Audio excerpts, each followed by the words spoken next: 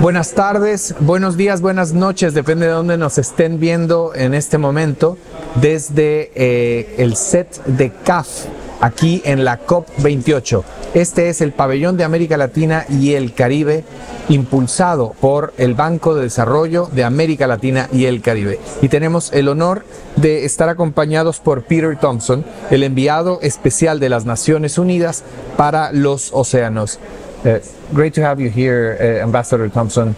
It's really an honor for us to be uh, accompanied by you. And I'll start asking you, uh, what do you, what are your expectations for this COP28 regarding the oceans? Uh, I'd, I'd like to, uh, I'd like to make a point because it's a political point for me. Okay.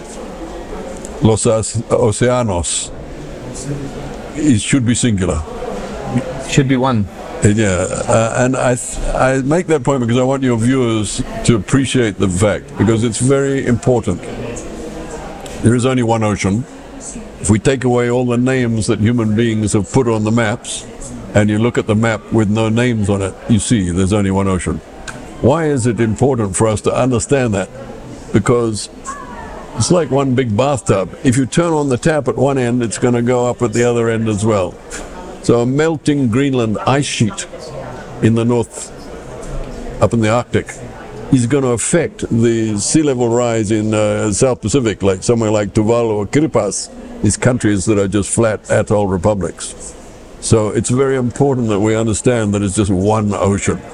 And uh, that's why, for example, my, my role is the, under, the UN Secretary General's special envoy for the ocean, one ocean. One ocean. So I, I don't want to be rude, but it's part of my job of ocean literacy to really make that point strongly uh, because, you know, we're all connected. Yes, all these bodies of water connected, species that travel between all these areas. That's it. Uh, and most of it has not been studied yet. You're quite right. You're quite right. Uh, it's estimated, obviously it's an estimation, that we only know about 20% of the uh, scientific information about the ocean. That's incredible when you think that 95% of uh, life on the planet is contained in the ocean. It's quite incredible that we only know 20% about it.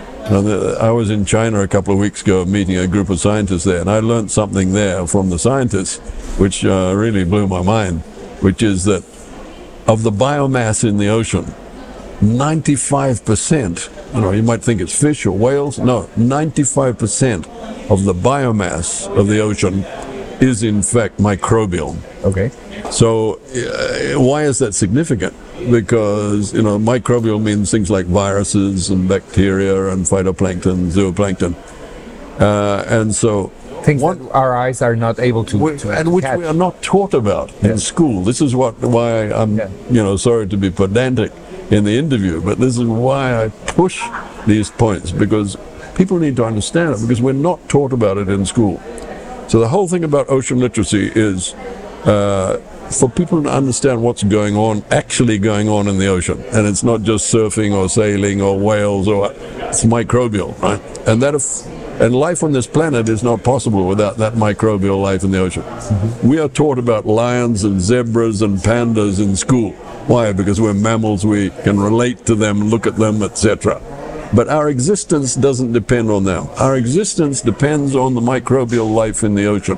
For example, the, the tiniest uh, photosynthetic organism in the ocean is called Prochlorococcus.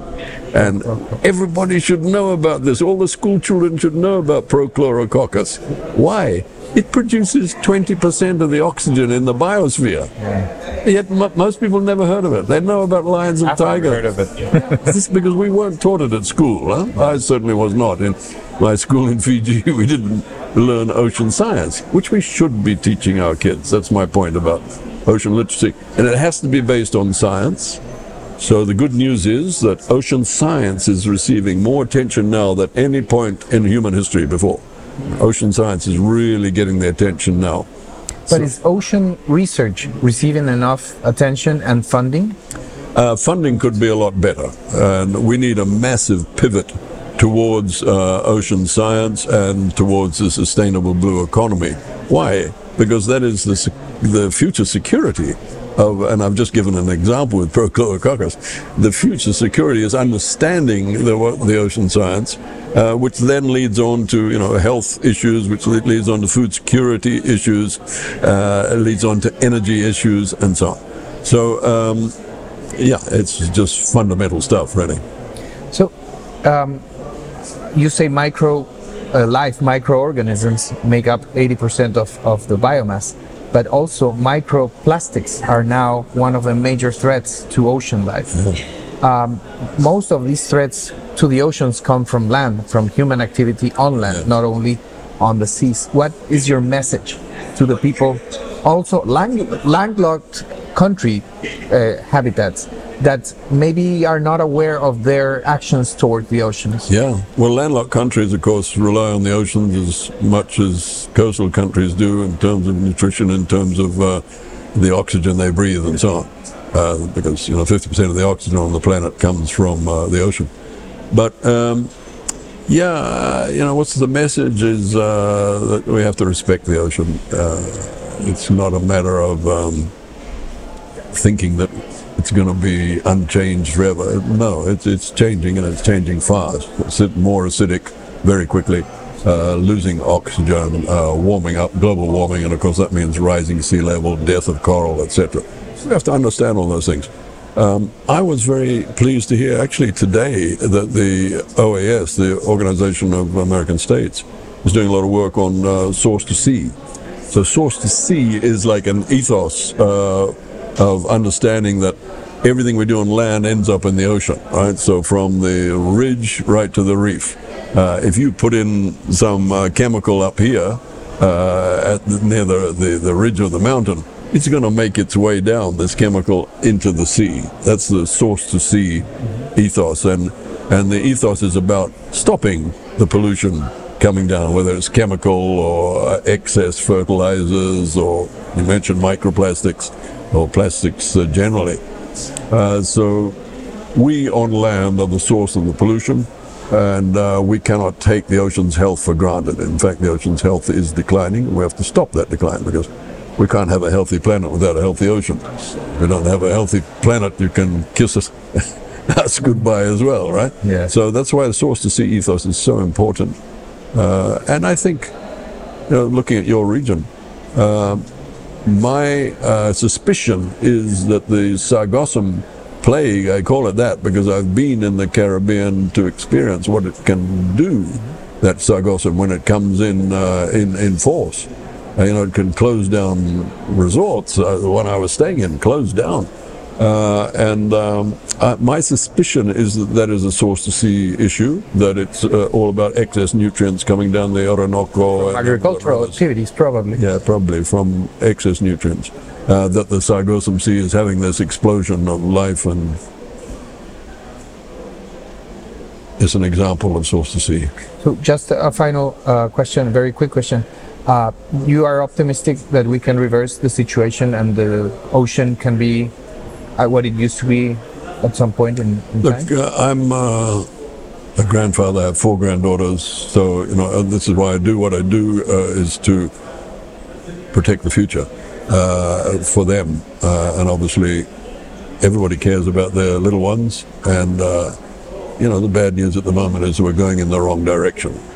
Secretary General of the United Nations it says we're we're heading towards an unlivable world. Unlivable. What does he mean by that? Uh, three degrees, you know, is a world on fire, and uh, that's not what we're going to consign our grandchildren and our children to. We refuse. We reject that future. But that's where we're currently heading. So we have a lot of work to do. We have to make that turn to 1.5. We have to be courageous about that. And you only have to hold your little ones to find the courage to make the changes. Uh, but uh, that is the calling of our times. And, uh, you know, there's too much greenwashing going on.